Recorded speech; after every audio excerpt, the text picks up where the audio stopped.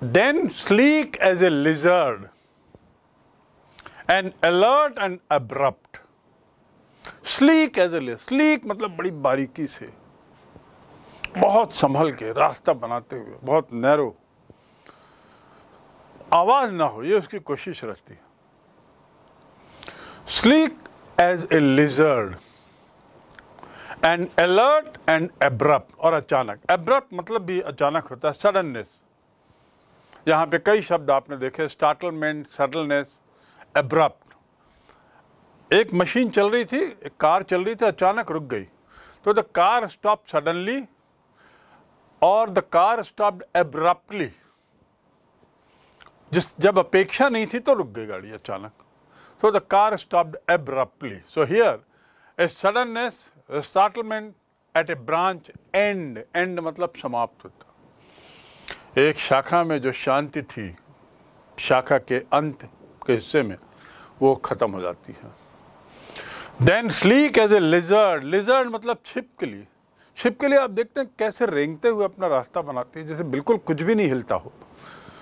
बिना कुछ हिलाए रास्ता बनाते हुए अपने शरीर को पूरा मुड़ते हुए छिपकली बढ़ती है तो लिजर्ड मतलब छिपकली तो लिजर्ड की तरह, वह स्लीक है एंड अलर्ट और चौकन्नी है। एंड एब्रप और अचानक होती तेज़ी से वो आती है। चिड़िया, वो खोजती नहीं है कि हमारे, मेरा घोंसला कहाँ है, कौन से पेड़ में उसको सब मालूम रहता। और देखिए, चिड़िया भी पीली है, पेड़ में भी पीलापन है, वातावरण भी पीला है, यहाँ पे कैमाफ्लॉजिंग है। आखिर चिड़िया ने why goldfinch has decided to have it घोंसला nest on the tree which is yellow laden with yellow leaves so that no enemy bird or no enemy animal can attack the nest and harm the birds, harm its kids. तो उनको छुपाने के लिए ऐसा वातावरण उसने लिया है चिड़िया ने और गोल्ड फिंच ऐसा वातावरण लेती है that means even the nature even though they are animal they know how to hide them self they have that sense इतनी समझ है चिड़िया में कि मैं अपने को कैसे कैमेफ्लॉज करूँ? अपने बच्चों को कैसे सबसे अच्छी सुरक्षा दे सकूँ? तो वो पीले में पीलापन मिल जाता है, जिससे जानवरों को एनिमी जानवरों को, शत्रु जानवरों को दिख ना पाए। That is the purpose she enters the thickness और फिर वो घने उसमें घुसती है। Thickness of what thickness of the tree tree की मोटाई नहीं, घनत्व density rich with leaves and machine start up वो घुसती है। देखिए कैसे कितना बढ़िया विवरण है कि चिड़िया आई सडननेस रहा। स्टार्टलमेंट अचानक चौकन ब्रांच एंड हिलने लगा। और बिल्कुल एक छिपकली की तरह वो अंदर घुसती है। और लेकिन बिल्कुल अलर्ट है चौकन्नी है सजग है और सब अचानक होता है ताकि किसी को भनक भी ना लगे कि चिड़िया घुसी। कोई देख भी ना पाए कि अरे यहाँ पे कोई जानवर घुसा। इतना अचानक उसका आ, पेड़ के घनत घने उसमें अंदर आना होता है। It comes very suddenly she enters the thickness and machine start up वो जैसे ही अंदर घुसती है ट्री टॉप के ऊपर, अंदर मशीन स्टार्ट हो जाती है। Now you must be wondering what is that machine where is that machine which machine poet is talking about well machine here does not mean some machine like automatic I mean automotive machine or mechanical machine no machine here machine का काम क्या होता है? What is the function of a machine To start something. To bring movement into something. so, the poet is using the word machine for the bird. It says the moment bird comes in, life comes into the tree. पेड़ में जान आ जाती है पेड़ हिलने लगते हैं कंपन होने लगता है पत्ते हिलने लगते हैं and makes and machine starts up और वो शुरू हो जाती है, उसकी आवाज़, थोड़ा कंपन, पत्तों का हिलना, किसकी? ऑफ़ चिटरिंग्स देखिए this is something you need to understand machine starts up कौन सी मशीन क्या पर्पज होता है मशीन का? स्टार्ट करके कुछ आवाज़ करती है मशीन तो यहाँ भी चिड़िया goldfinch comes like a machine और जैसे ही आती है अचानक एक चिटरिंग्स अर्थात चिड़ियों की आवाज़ शुरू हो जाती चहचहाट शुरू हो जाती। ये बाकी चिड़िया कौन है?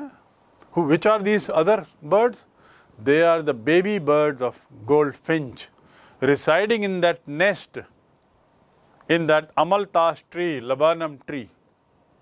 And they, the moment the mother bird is coming in, abruptly, suddenly, they also get alert and they start chittering. Chirrup is another word, chittering is another word, chirp is another word. ये सब sound हैं अलग अलग तरीके के sound हैं birds के sound तो चिटरिंग चै चै चै चै चै चै जो ऐसी आवाज़ निकलती है चिड़ियों की बच्चों की अपने छोटे से बीक से छोटे से मुँह से जो आवाज़ निकालते हैं, एक तरह का कोलाहल करते हैं, उसको पोएट चिटरिंग्स कह रहे हैं। Of chitterings and a tremor of wings tremor मतलब क्या होता है? Have you heard of this word tremor tremored शब्द जो है normally it is associated with भूकंप।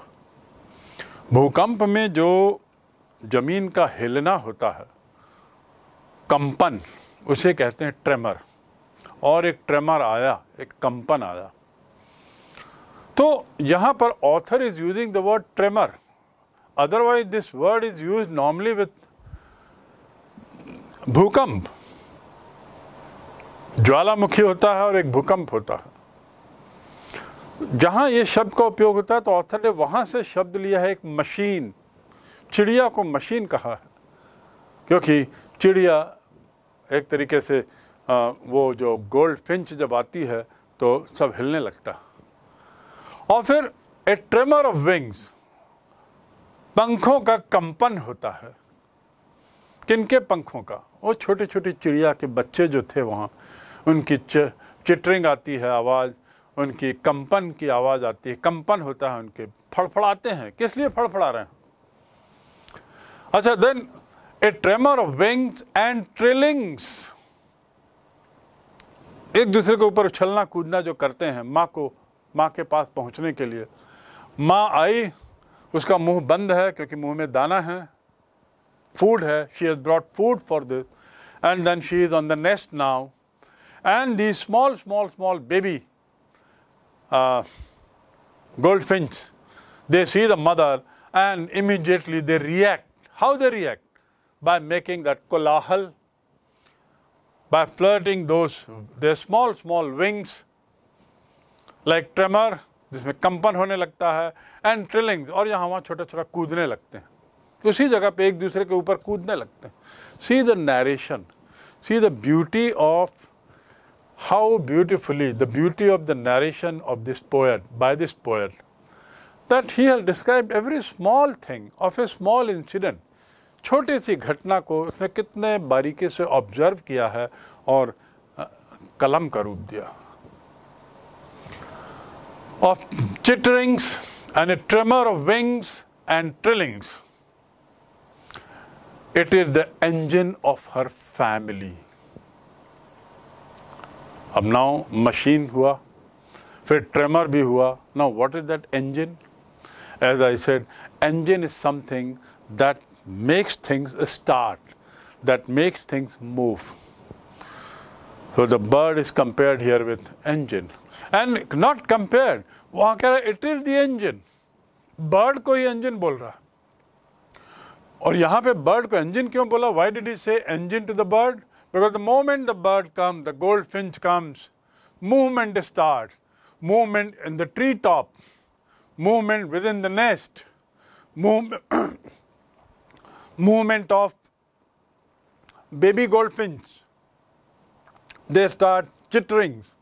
they start chirping. They get startled. They flip their wings.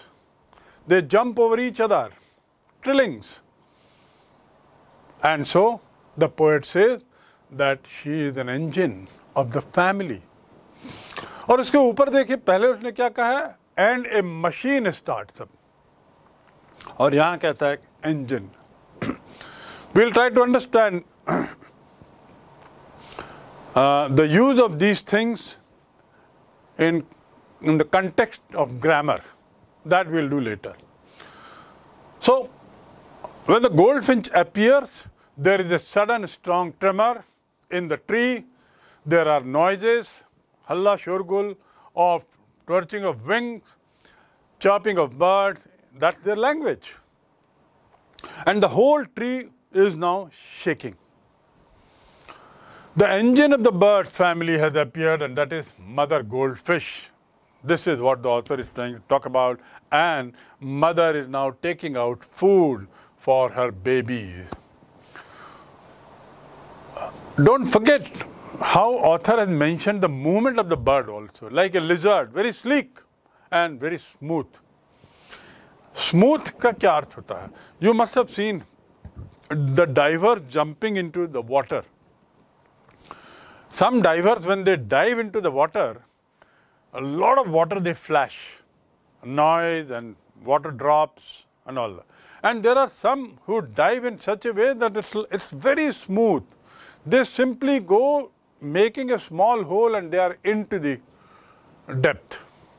That is called smooth. So here also the bird, the, the goldfinch mother is coming very smoothly. She is the engine of the family, which means she is working to provide nutrition. Engine काम क्या होता है engine petrol रखता है engine में जो सब कुछ रहता है जो उसको मूवमेंट देता है खाना देता है गाड़ी को तो यहाँ भी मदर इज़ ब्रिंगिंग फ़ूड तो mother is the engine not only machine, she is the engine of the family, just like the engine uh, in a major part of machine gives food in the form of petrol, etc., here mother is also bringing food, nutrient, eatable for her babies. So she is called the engine. engine से यहाँ तात्पर्य धुरी का भी है आप समझ सकते हैं धुरी है पाइवट जिसके आसपास पूरा परिवार घूमता है बिकॉज शी ब्रिंग्स फूड तात्पर्य यह है कि वो परिवार का पालन पोषण करती है। उसी प्रकार जैसे मशीन का प्रमुख भाग इंजन होता है। So the poet is thinking so many things while watching, while observing that happening. उस घटनाक्रम को जब देख रहा है तो उसके मन में बहुत से विचार आ रहे हैं। उन्हीं विचारों को उसने लिपिबद्ध किया है। And he has created this short sweet poem So I think in this paragraph, if I look at it, the word the suddenness you have understood, हड़बड़ी स्टार्टल मतलब चौंक जाना मैंने आपको बताया I was startled I got startle tremor I told you कंपन trilling means what एक दूसरे के ऊपर कूदते हुए कूदना। और थ्रिल मतलब क्या? थ्रिल कोई सी चीज़ जो रोमांचित करती हो आपको, रोंगटे खड़े कर देती हो, उसे कहते हैं थ्रिलिंग 200 किलोमीटर की स्पीड पर कार में आप जाएँ, या पहली बार प्लेन में आप बैठें, या पहली बार आप साइकिल चलाएँ तो जो एक्सपीरियंस आता है जिसमें रोमांच होता है, उसे कहते हैं thrilling experience thrilling T H R I double L I N G तो इट इज़ थ्रिलिंग एक्सपीरियंस पर वहाँ पर अर्थ है ट्रिलिंग्स एक दूसरे के ऊपर छोटा फड़फड़ाते हुए कूदते रहना।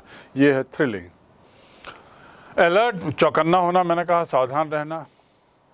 स्टार्टलमेंट सनसनी और एब्रप्ट मतलब अचानक चिड़िया एब्रप्टली आती है, अचानक। गाड़ी एब्रप्टली खड़ी हो गई।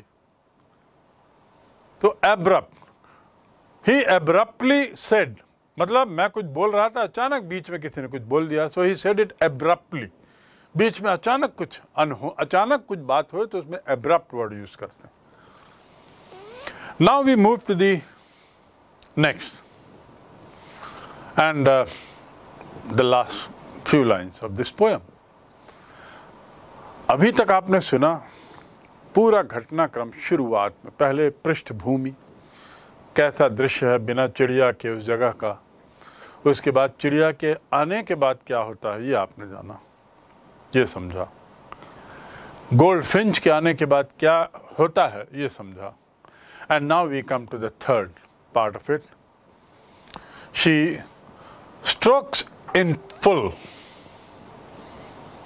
then flirts out to a branch.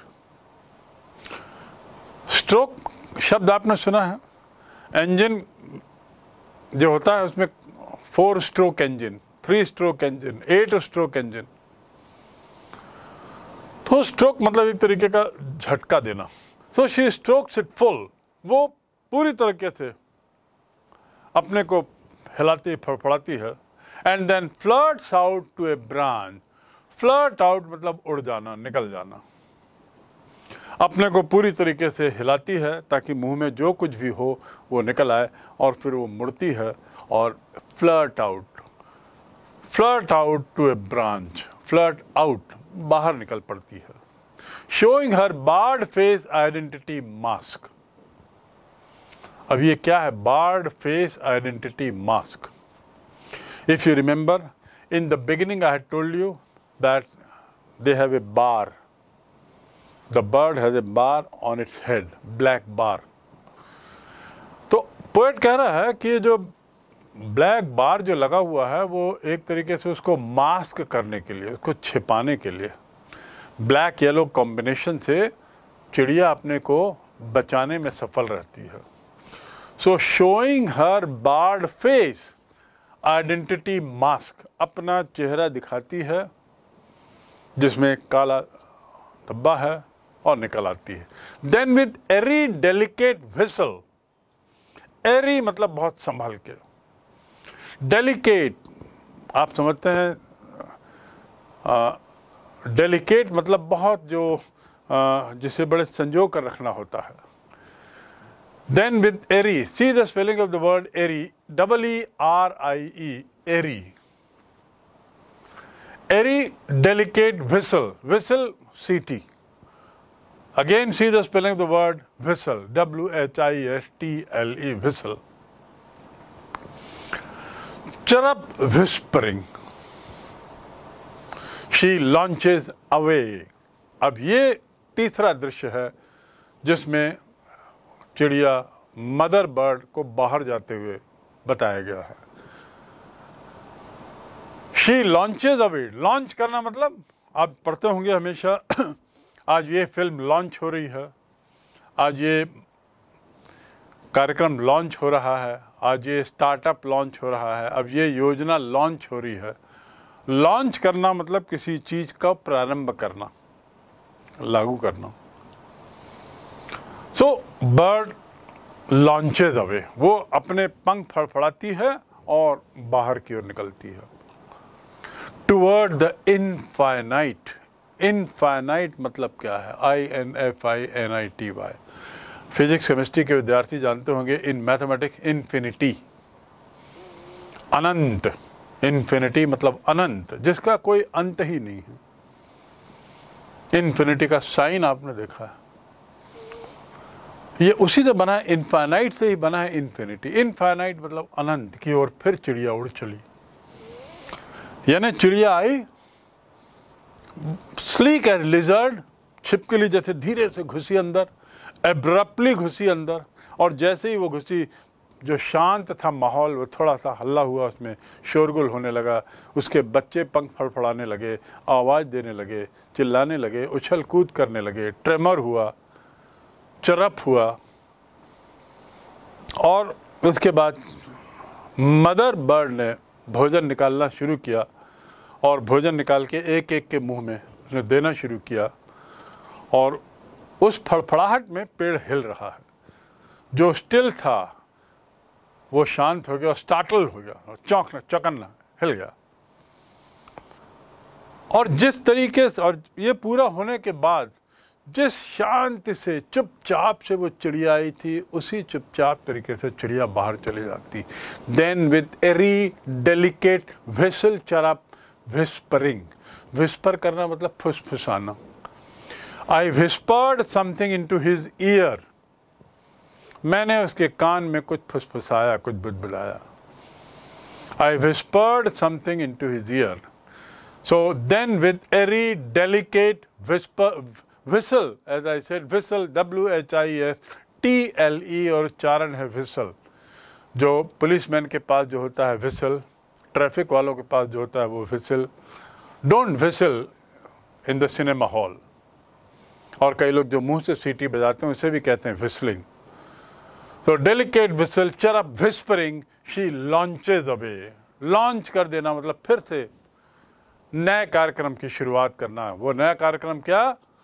Toward the infinite अनंत की ओर उड़ चलिए। Find the laburnum subside to empty और इनफाइनाइट की ओर चली और जो लबनम वृक्ष है सबसाइड होना मतलब शांत हो जाना the fight between the people subsided with the passage of time the fight between the people subsided with the passage of time. Your anger will subside with the passage of time. तुम्हारा जो गुस्सा है, वह समय के साथ शांत हो जाएगा। तो find the laburnum subside to empty खालीपन। फिर वो खालीपन में आ गया। जो पेड़ है, जो वृक्ष है, उसमें फिर खालीपन आ गया। फाइंड दिखाई दिया। लबानम सबसाइड्स टू एम्प्टीनेस तो इस प्रकार चिड़िया का आना भोजन देना, दाना पानी देना और चले जाना और पेड़ वापस शांत हो जाना। कैसा शांत? वैसे ही जैसे शुरू में था। Still no suddenness no movement अब वैसा ही फिर हो गया, क्योंकि मदर बर्ड तो चली गई और इसके जो बच्चे हैं जो वापस अपने घोंसले में घुस गए। So how do you find the poem ending abruptly, achanak, suddenly. Now there is a flow. It was natural that the bird who has fed its babies after giving all food will go off again and will go off to an unknown land, unknown places. So in the end, the goldfish again launches herself into the sky mysteriously goes away, and Labanam is again reduced to silence and emptiness. जब चिड़िया अपनी आती है फड़फड़ाते हुए तो जो उसका धारीदार चेहरा से बार एंड मास्क ये दो शब्दों को भी समझने की कोशिश करिए टू बार मतलब किसी को किसी परीक्षा से रोकना किसी चीज़ से रोकना। I am barred from taking up the job मुझे ये नौकरी से रोक दिया गया। Court has barred me from entering into this hall एक तो वो होता है बी ए आर बार और एक बार मतलब डंडा, लकड़ी। गोल्ड बार स्मगल करते हुए कई लोग गोल्ड बार लेके आते हैं, पकड़ाते हैं। और एक तो बार जहाँ पर इंटॉक्सिकेंट शराब वगैरह मिलती है, वो बार। और एक बार और आपने देखा होगा, वो बार का अर्थ होता है बार कोड। वो उसकी आइडेंटिटी रहती है। हर किताब का एक बार कोड होता है। हर मोबाइल का एक बार कोड है। और आजकल लगभग हर सामान का बार कोड है। अच्छी अच्छी दुकानों में जब सब्ज़ियाँ आप खरीदते हैं, रेडीमेड पैकेट में उसका भी बार कोड रहेगा सब्जियों का। उस पैकेट का सब्जियों का नहीं उस पैकेट का। तो यहाँ पर और वो बार आइडेंटिटी है। So here the author is using the word bar face identity mark identity mask mask मतलब मुखौटा। कैसा मुखौटा? जिसमें बार है मैंने बताया। आइडेंटिटी बनी हुई है। किस ढंग की? काली पट्टियाँ धारीदार पट्टियाँ बनी हुई। सो so, चेहरा एक मुखौटे की तरह है। जिसमें धारियाँ हैं, फिर गोल्ड फिंच अपने अलौकिक, अजीब तरीके की आवाज़ करते हुए उड़ के चली जाती है और रहस्यमयी दुनिया में फिर अपने भोजन की खोज करती है with this the poem comes to an end आपको लग रहा होगा what is there in this poem about well my dear friends you must appreciate the insight of the author the poet. तो आपको उस कवि की गहराई की प्रशंसा करनी होगी जो इतनी बारीकी से उस दृश्य को देखता है और उसको लिपिबद्ध करता है। And he lines on it you must also do the same small small incidents make big things And here, by doing so, the poet inspires us all to be observant. वो हमें सबको प्रेरणा देता है कि हम ऑब्ज़र्व करें हम गौर से देखने की आदत डालें हर चीज़ की बारीकियों को देखें और उसको अप्रिशिएट करें and with this we come to the end of the poem and move to the other part of it and that is the exercise. We have already done difficult words, mind you. And we have also done few sentences, additional sentences out of those difficult words. So here we move to exercise and here are the questions. The questions as given book in given in your book are rather simple. बहुत सरल प्रश्न है what is laburnum called in your language? As I said, it is अमलताश और एक बात और बता दें अमलताश के संदर्भ में कि भारत में जो अमलताश है, उसमें जो बीज का जो चित्र है, वो देखिए इससे रादर एलोंगेटेड उसके अंदर सीड्स रहते हैं और brownish in colour they fall back this picture will make it very clear to you that's in Indian Indian but things vary.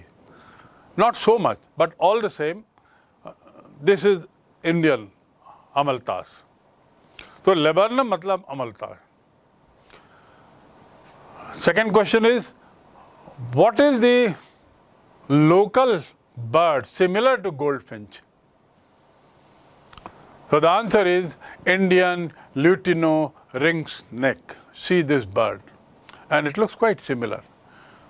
जो गोल्ड फिंच के समान है Lutino ring neck ring neck ये भारतीय पक्षी एक तरीके से जो गोल्ड फिंच जैसा दिखता है और कई बार कंफ्यूजन होता है। Now a very important question is what do you notice about the beginning and the end of the poem शुरू और अंत में क्या देखते हैं? याद है आपको? शुरू में पेड़ की का वर्णन किया गया है, शांत still motionless no suddenness and all that और अंत में क्या है अंत में चिड़िया उड़ गई और फिर पेड़ शांत हो गया so beginning and the end is more or less same in terms of the quietness beginning of the poem the tree is calm quiet silent And in the end also, it becomes silent, motionless, after the mother bird has launches herself away out into the mysterious world in search of food. Next, what is the bird's movement compared to? Bird के movement की तुलना किससे की गई है and what is the basis for this comparison उसके चहल पहल की तुलना किससे की गई है and what is the answer machine, like a machine. Next question. Why does the poet imagine engine? engine की कल्पना क्यों की है पोएट ने कवि ने You remember? We explained it, we understood it well. The engine is the source of energy to run a machine. And it is compared to the bird as she is the source of nutrition, source of food, source of energy for the family. Just as without engine, a machine cannot work, similarly, without mother bird, family cannot run because it is she who brings food, she who nourishes the babies. So, this is the this is a very important question out of this poem. Machine को चलाने के लिए engine जो होता है वो ऊर्जा का स्रोत है और इसीलिए इसकी तुलना यहाँ पर पक्षी से की है, क्योंकि वो भी ऊर्जा का स्रोत है। किसकी ऊर्जा का? परिवार की ऊर्जा का।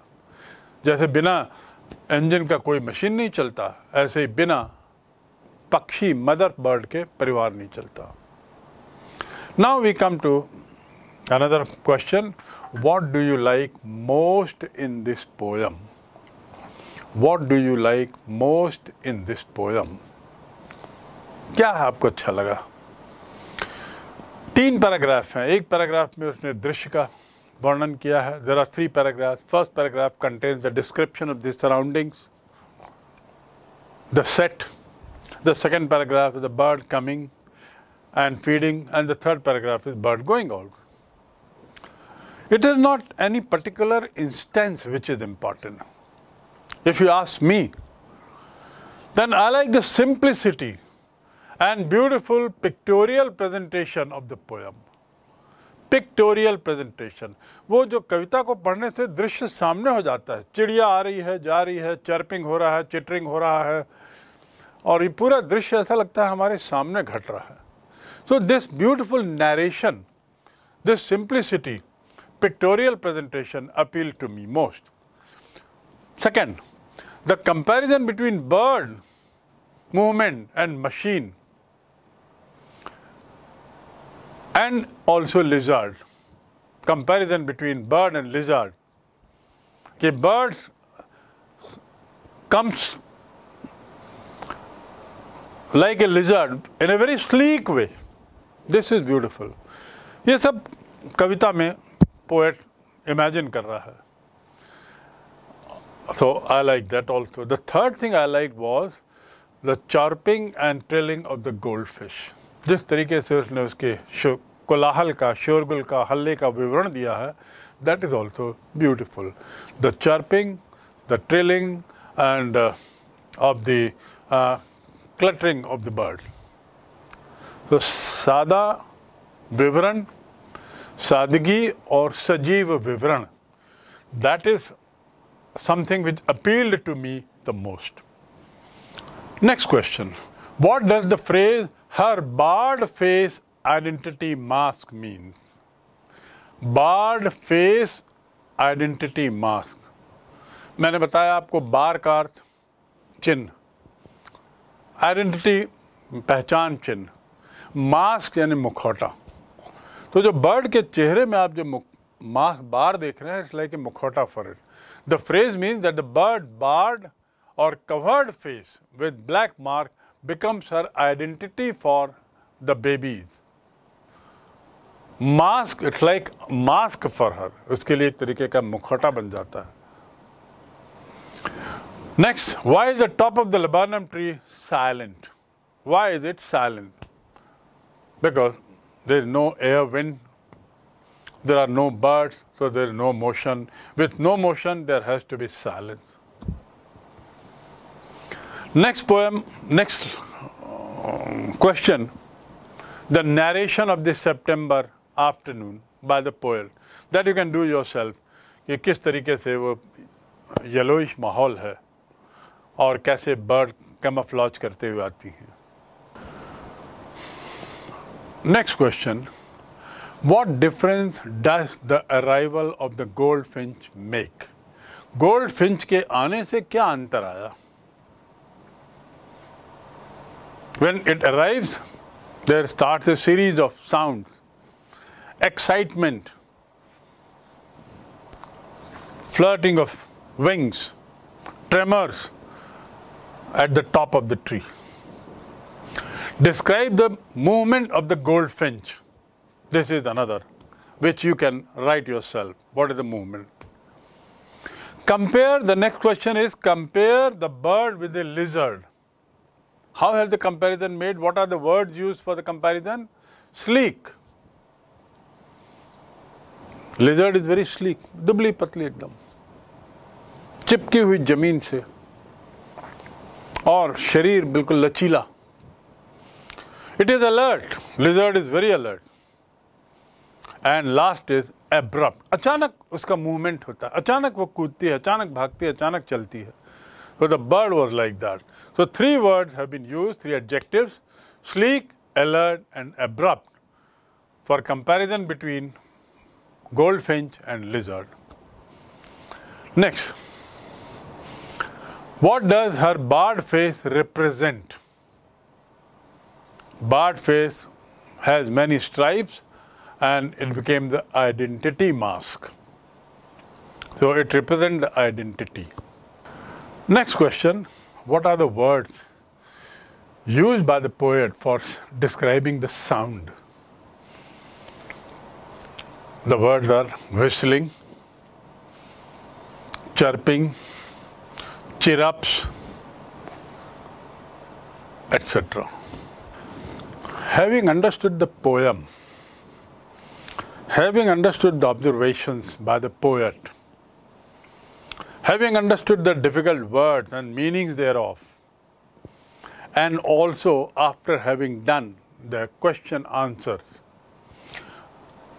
one very important part is there about the poem or in the poem, and that is the grammar part of it.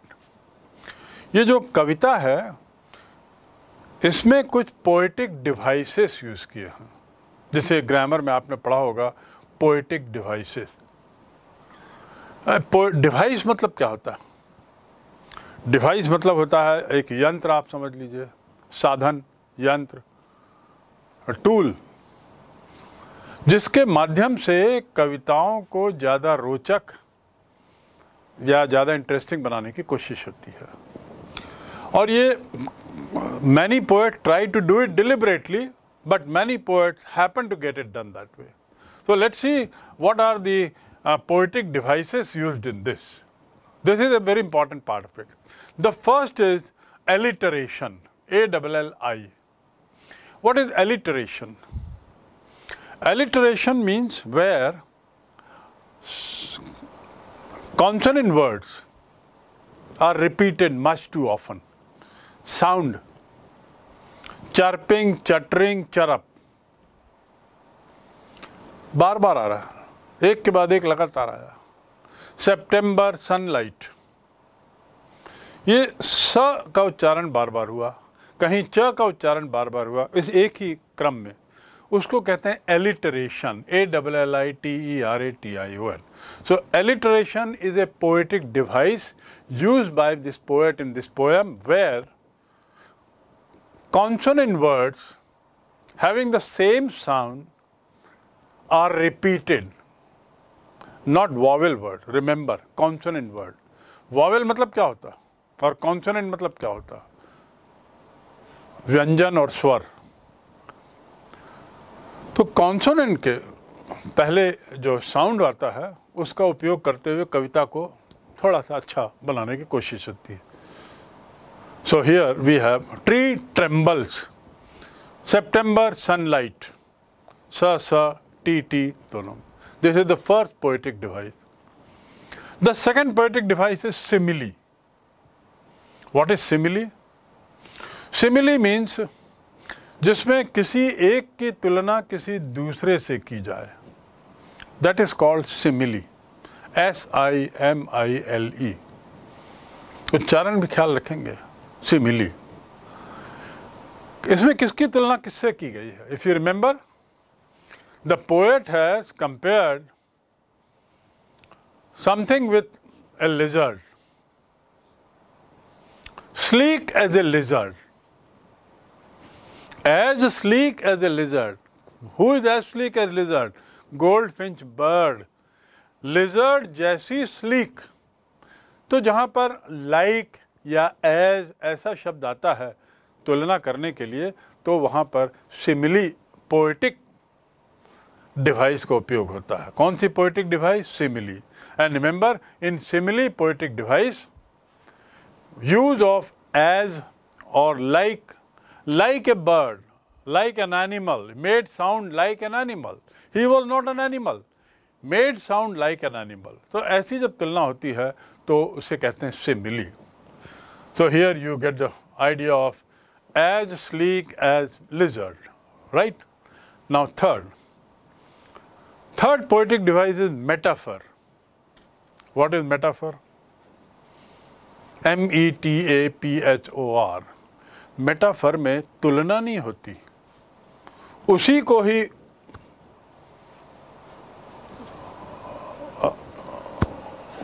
एक वस्तु मान लिया जाता है। For example the bird entered like an engine नहीं कहा। The bird an engine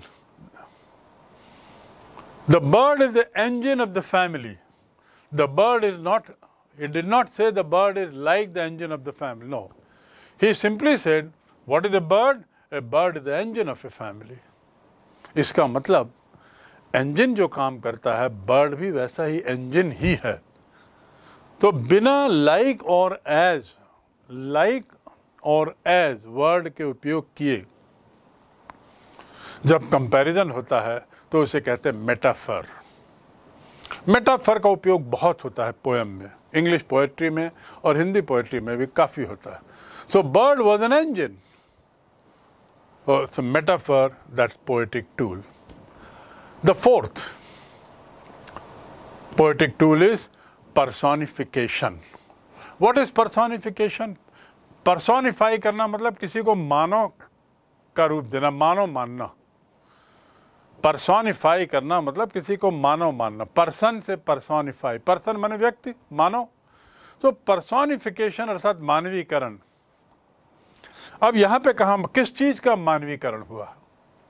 कौन सी चीज़ को मानव की आदतों से जोड़ा गया है? Tree trembles the tree trembles tremble करना मतलब कंपन। पेड़ काँप रहा है। पेड़ कभी कांपता है, कांपता नहीं है, हिलता डुलता है। लेकिन पोएट ने उसको काँप रहा है बताते हुए क्या किया है? परसोनिफाई किया है। And so what tool has he use poetic tool he has use the poetic tool titled personification for describing this scene यहाँ पर एक चीज़ और देखें। Tree trembles This is again another poetic device which we have already done and that is called alliteration because tree trembles T R E दो बार repeat हो रहा So this particular tree trembles uses makes use of two poetic devices personification as well as alliteration. Another poetic device you see there are total 8 to 10 lines in this poem. But he has used, the poet has used as many as 5, 6 poetic devices in this short poem. That speaks of the high quality of this poet in his writings and of the poem as such. Another poetic device that is used here is onomatopoeic. Onomatopoeic words are what? Onomatopoeia and the words are onomatopoeic words ये क्या है?